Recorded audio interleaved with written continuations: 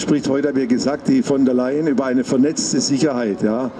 Ihr wisst ja, die Bundesregierung will 2% ihren Rüstungsetat hochfahren, weil der Trump meint, wir brauchen eine ganz starke NATO. Da gibt es Dissens in der Regierung. Das wird ein spannendes Thema in der Bundestagswahlkampf, die Aufrüstung. Und gestern hatte ich ja schon Möglichkeiten, Pressekonferenz den Kauder und den Obermann zu fragen. Die sind ganz unterschiedlicher Meinung, weil Sicherheit ist eine soziale Sicherheit. Deswegen bin ich in dem Ausschuss, da kann man sie mit ihr diskutieren. Den Alt haben wir übrigens untergebracht in der Landesvertretung der äh, Baden-Württemberg, da übernachtet er. Das ist eine gute Lande Übernachtungsmöglichkeit, übrigens nicht teuer.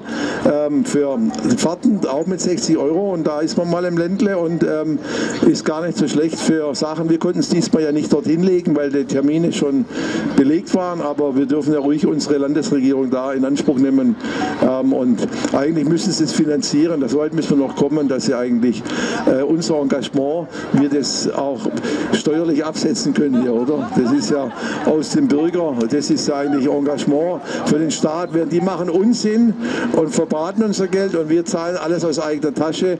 Das muss man auch dem Bundespräsidenten mal als erster Punkt mitgeben. Also falls die Möglichkeit da ist, du hast ja angesprochen, Eisenhardt, dass ein Bürgerpräsident genau das Thema, was wir machen, über Jahre, es gibt ja kaum eine Bewegung, muss man mal sagen, die jeden Montag in dieser Kontinuität dasteht und an dem Thema dran bleibt. Und das Schöne finde ich, dass die Bürgerinnen und Bürger gewachsen sind. Sie interessieren sich für alles.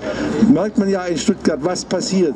Also dieser Anstoß mit dem Bahnhof hat dazu geführt, dass politisches Bewusstsein gestiegen ist, sich verantwortlich zu führen, was in dieser Gesellschaft vor sich geht.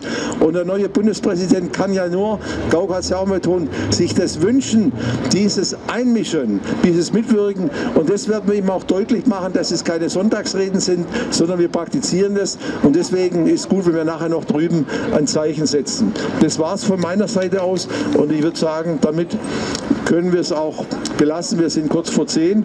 Wenn es keine Meldung mehr gibt, dann nützen wir den Tag in Berlin, lädt zu vielem ein. Wir haben sogar ein bisschen Glück mit dem Wetter, dass es trocken bleibt und nützt Berlin. Wir können auch eine Bootsfahrt machen und sonst sind wir gut und dort auch demonstrieren. Gell? Also, bis äh, später, der Andi übernimmt es dann.